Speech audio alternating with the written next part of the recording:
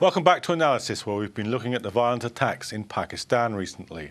As part of the programme, we're joined by Chowdhury Ansar Mahmood, President of the Lawyers Wing of the London branch of the Pakistan Muslim League. In the first half, we concentrated on attacks and who was responsible for them, as well as responsible for the Pakistani situation, security situation. In this half, we're looking at the broader picture in the region and ask what the implications are for neighbouring Afghanistan and India, as well as for the West. Uh, Chowdhury, welcome to the program. Um, so the government is talking now about a military uh, a military response. The United States has uh, restarted its drone attacks. Do you think this is really going to cure it, or is it just going to make it worse? Uh, thank you very much, uh, Reese, for inviting this program. I think at the moment, because there is a uh, in India, there's a new government, uh, and, uh, also in Afghanistan, after the election, there's a new government. The, the, the scenario of the region is totally been changed, and the uh, we are looking forward to be bring the peace as. Um, uh, Prime Minister yesterday he has given very vast statement that we want to bring the the peace in the in the region, not only in Pakistan, in India, in Afghanistan, in all that region, and uh, we want to change this uh, the current situation not in uh, that in terrorism we want to change in trade. So the trade should be in India Pakistan and Afghanistan and all other the neighboring country of the Pakistan. So we we we are working on that. Our uh, government is uh, the the the most important thing is the the first to bring the peace in the region then the the to make the financial hub in the South Asia and the, the third is the to promote the trade the terrorism. Hamad, um, the drones program, drone strikes have, be, have begun again after a period where they were they were suspended. Um, when President Obama made his speech to the West Point Military Academy a couple of weeks ago, he said, uh, "With these attacks, we've got to be we've got to make sure um, that we don't create more enemies than we take out on the battlefield." But the drones attacks, famously or infamously, um, do precisely the, the opposite. How will that help the situation? I, I don't believe it will help the situation. I think uh, the problem is that it's actually interesting timing because last week, uh, High Court in Islamabad um, uh, asked the police to investigate a former CIA station chief for murder and other charges because of these drone strikes. Uh, strikes, you know, they're very unpopular in Pakistan, and they also create you know more militants. And there was a report last year by Amnesty International which was uh, said that this could constitute as you know war crimes as well. So the the thing is the what what it does is just like an endless cycle. So you kill some militants, and you also some other people also get killed. Civilians get killed at the same time, and then people come for more revenge attacks. And uh, so this is not really the solution. You know, it's it's just been uh, creating it's like a snowball effect. So it just making the situation much worse right now. So America is uh, has done a very kind of um, this kind of CIA attack right now in Waziristan. That's not really. Uh, going to it's not really the solution that Pakistan really needs. I mean, you need need to go after these militants, and this is probably the job for the Pakistan military to be doing it rather than um, mm. looking to. Uh, Ibrahim, Pakistan's been complicit in this whole drone operation though, hasn't it? It's been a partner in it. Basically, John, if you don't deal with them properly, then America will do, uh, you know, uh, drone attacks. Of course, you know, they got no option left with them. But all this government needs to do is to have a chat properly with the army, give them confidence, and just do it because last government they have done it and they have delivered. They, you know, Malakand division, you can see the results. But now this government is reluctant we are supporting them. We are not saying that this government should go here and there. We are supporting them even. Some opportunist, uh, you know, political uh, parties, they are trying to, you know, uh, topple the government through by unfair means even. They are ready. They are coming to Pakistan, very tiny people. They, they are not big people, but uh, they've got some, uh, you know, religious followings, this and that. But PPP, they are supporting this government for, for the, you know, sake of democracy. But government is reluctant. We don't know why they are reluctant. You know, if you see last year, Mr. Sikandar, uh, he was with his family, three people, uh, diplomatic you know, enclave just nearby the parliament, uh, interior minister, we couldn't see. In this incident, interior minister, he was, you know, on-eyed with the prime minister, he was not there. After two days, he, he said, oh, okay, this and that, nothing. I mean, the government has to be felt. People, you know, like in last government, um, uh, our interior minister, he used to go everywhere. He used to go everywhere. No, otherwise people say, oh, where, where is the government? That the first question comes to you know everybody's tongue. Where is the government? We, we didn't see interior minister. Okay, uh, do you think that uh, what do you think the effect of these attacks may be on uh, on India? Do you see them? Do you see them spilling over? Well, I don't think so. There is any immediate danger to India because, uh, well, for the fact that you know Afghanistan, eh, the problem that is happening with Pakistan right now, it is to do with you know the uh, Afghanistan and Pakistan and the presence of you know a lot of uh, Western forces in Afghanistan, and then you know the uh, the coming together of a lot of anti-Pakistan and hostile elements who, who mm. are you know using Afghanistan as base against Pakistan, and then the problems that exist within Pakistan. So India right now is I don't think so. You know it's kind of it affects India, but in the long term, yes, if the issue of terrorism and the security within the South Asian region is not dealt with, if it is not addressed by all the nations, then it definitely is going to affect India. India has its own, you know, very serious internal problems, mm. but uh, it does not right now have the problem of, you know, the kind of, uh, you know, Taliban kinds of issues. Yes, it has issues in Kashmir. You know, India is actually kind of ruthlessly suppressing the voice of Kashmiris and many of its minorities, but it, it, it's not right now faced with the kind of threat that Pakistan faces from Taliban elements and you know the, the forces hostile to Pakistan's internal security. But you know the, the latest drone attacks on Pakistan have. Just let me uh, suggest something. I mean, obviously we now have a new government, as you were saying, in in India, but it's a, a, a government which is whose leader is famous for his antipathy towards uh, Muslims. So can you see that generating a kind of response that may kind of lean on some of the things that have been happening in Pakistan?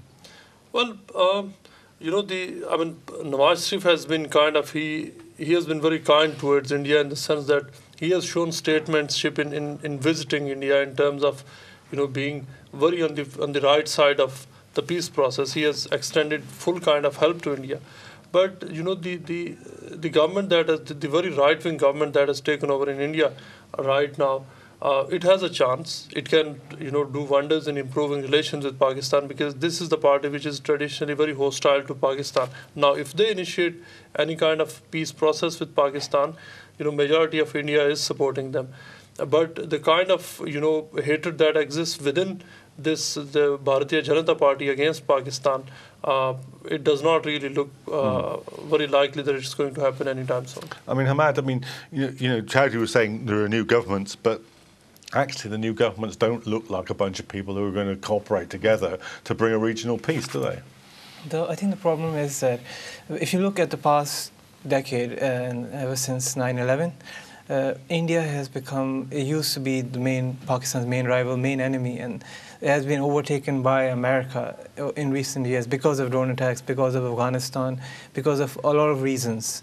And so, uh, uh, as, a, as a big aid supplier to Pakistan, you know, to Pakistani governments or the military, uh, has has a negative impact on the public opinion of the United States. And so, India has gone to second place, and you know, that created on one side that's a bad thing, you know. But on the good the good side is that this this gives an opportunity for the current government, for example, to try and uh, build better relations with with India because people are, are, less concerned with India and more concerned with their own you know internal problems with the Taliban, with militancy, with sectarian you know killings which are going on. So, uh, but the problem, as as you know was as, as just been mentioned as well is that uh, the government right now in India is is a right-wing government. It, it, there was better chances under. Uh, I mean, and so I think there's a lot of artificial kind of, you know, Nawaz Sharif goes to India and Modi invites him, and so they do it, but it's not really sincere. I, I don't think it's there's a there's a lack of sincerity that's there. It's just for a show at the moment, but I think we need to wait and see how it Mm.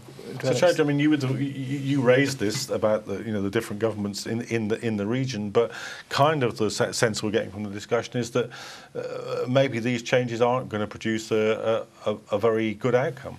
Yeah, you know, the, um, as uh, he said that uh, this is not the time, and this is looking artificial to the talks. And I think that the best solution is to have the, the, the talks, not the not the war, not the fighting, and the in that whole region. I think we need to have a uh, good talks with the neighbor countries like in Afghanistan and India. And the, the India is not our enemy uh, only for the uh, since uh, the 9/11. India is our enemy since the partition, and we have to somebody have to take the initiative for good relationship. And as I mentioned earlier on, that uh, the the trade is a good trend and trade is a, a, a, good tradition to invite them and to do the trade. We need because this time uh, this century need a trade not the war. So we have to change over uh, things to uh, to to do this uh, something better. And you know the, for the terrorism if they have also the our government had took the initiative for the uh, talks with the uh, Taliban that is ongoing process. The the first attempt will I think, it be there though or is it a closed process after this no, attack? No, because that was the first attempt that which is which, is, which was not uh, successful. Uh, we are hoping we will try it again, and I think that the is that the government's policy to, to, to re-engage with the talks? Because I mean most of what we're hearing is that okay that's done. We're switching to a military response. So uh, so so what is the government policy? Is it to continue no, we, we, our, our government has the, the the stance that we should uh, have the, the talks with the Taliban. If that is not successful, then obviously we will we will defend that on strongly, and we will we will fight with them. And we because at, at this stage we don't want to involve uh, ourselves in all our internal issues because there's so so many external issues like in the borders and uh, everywhere. So I think we we we want the peace on the way of the, the talks, not on, on, on the war. I, I think I think something I want to add. That there's a huge, you know, there's a huge vacuum. There's a, there's Nawaz Sharif, the prime minister, is seen to be he's not really there. You know, like whenever you have attacks, you know, this Karachi attack is you know such a big attack, and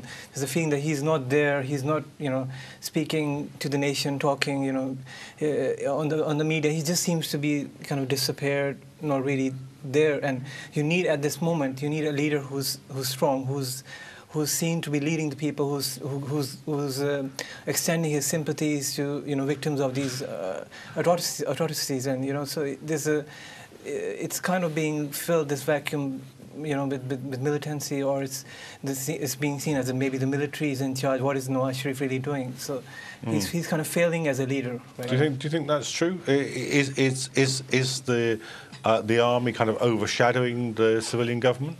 I, partly, I agreed with Hamad.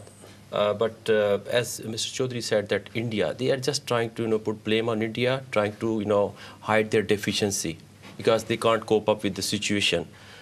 There are a number of platforms what this government should have used, but they haven't even touched it. All parties conference straight away they should have called. Then SAARC, where is SAARC? Then Commonwealth, then United Nations. Number of you know Asian regions they, they can have you know Afghanistan, India, you know China. They can bring these countries on the one on one table. Modi is not going to do nothing. We are just blaming because if you see our prime minister's uh, you know recent trip, he was trying to have his own business build up.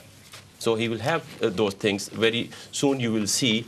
Other than they are trying to blame. Okay, what PPP did in last uh, in la last time, they are not even nearby this. The only solution at the moment, uh, uh, John, uh, just trying to have uh, all parties conference and with clear vision, do or die. Simple is that. And, you know, terrorists, they are dying. They're dying, you know, like Murtaza said, Shia sects, Sunni sects, nobody is safe. Only three entities are safe. No NLeague, no Ashraf, they haven't uh, got any damage from, you know, uh, a terrorist. PTI, they are safe. Jamaat Islami, they are safe. These three political parties, they are safe. They got no fear to go anywhere, apart from religious, you know, and everybody is saying the right wing is in India. No, right wing is in, in Pakistan as well. They are rightist. Do you agree with that? Well, you know, coming to your first question, uh, the government of Nawaz Sharif literally it hasn't been assertive the way it should have been. Uh, it has lacked confidence. It has lacked leadership. I'll give you an example. Our media house, which is you know the largest media group in Pakistan, uh, we have been illegally shut down for over 50 days now. Uh, there have been Supreme Court orders to open, you know, our channels. Six of our family channels they have been shut down. Our leading news channel has been taken off air, uh, suspended, li- license suspended for two weeks. You know, when at the height of the crisis, it was Nawaz Sharif's duty to come forward, lead the nation. You know, whatever the mistakes if Geo had made, find a solution. You know, bring the different warring parties together and move forward. It has been going to be now two months all the Nawaz Sharif government has done is to just you know the double role. It has not shown leadership in that case of the media crisis as well as in the case of terrorist you know incident. Now it is it is only one year that Nawaz Sharif has in power, but you know all what has happened in the last two to three months should serve as an eye opener for Nawaz Sharif to actually realize that he needs to lead the nation. He is the elected prime minister. No matter what other institution is strong in the country, Pakistan Army has always been there as an assertive, you know, strong partner in everything, which is fine. But when it comes to civilian government, people have given you a mandate. Nawaz Sharif needs to really show genuine leadership in all these uh, cases, which uh, he hasn't shown. i- i- it is true uh, in, in the last uh, few months since he has been in power. But let's see that we can hope that uh, he has probably that learned lesson from what has happened and uh, that he's a changed man. Uh, Chaudhry, I mean, if there's if there's a perception that it's a, that it's a weak government, if the drone strikes are starting again, is this perhaps a situation in which Imran Khan will benefit politically because there's such hostility to the drone strikes and they're kicking in again? Uh, first, I will respond to both of the, their questions. And you know, the the PP uh, mentioned two times the PP government take the, that step. PP, if they they they have done well in in their government in five years in financial issues, in the terrorism, why the people uh, to uh, not to support them? Why they they failed in in the election and they uh, they lose the election on very bad ways. Only they have the seats in, in, in Sindh, which is obviously that is the the People's Party's hub. We can we can accept that, but because they're all policies on the trade, on the terrorism, on the uh, foreign policy, all all were failed. So that's why because the only Mr. Rahman Malik was by that time he was the interior minister. He was only show his statements, but not anything was practical. And I will uh, respond to the Mr. Murtaza's question because the the only PMLN government, Nawaz Sharif was only supporting to the GEO in all their crises because they have their own personal issues. They, when the Hamid Amir was attacked, they they straightway and bluntly they give the statement against the ISI. ISI is the, also is a part of the government, and we at the end, up, uh, up to now, we are we are the only party who are supporting them. The PTI against them, and the other other so many the, the, all the channel are against them, and the government have taken the firm state. Only we are supporting them. So uh, he mentioned that the Supreme Court order has been made and that has not been implemented yet. There are so there are two three issues on behind that because they the ISI they don't want them to reinstate their license in, in, in Pakistan and the, as ISI the part of still we have taken this the boldly step to support them. So I, I, I don't think so. They should have these sort of uh, thinking about our government. And now we are trying our level, level best to bring the peace, prosperity in our country. And only there's one year to the form the government. And there are so many issues from the past 10, 15 years, which started from 2000. Then, when People's Party government uh, came, they, there was no money in, in, in the there. There was no uh, uh, uh, trade. There was no uh, the foreign investor was not even think about to go to Pakistan. And now they have built their uh, confidence. They are going to Pakistan for the investment. Hamad, uh, just, just let me bring Hamad in here. a minute. Do, do you think that, I mean, it's, one- it's one thing to win the election, it's another thing to succeed as, a- uh, to succeed as a government. Do you think that um, you, you were suggesting that it looks like a weak government?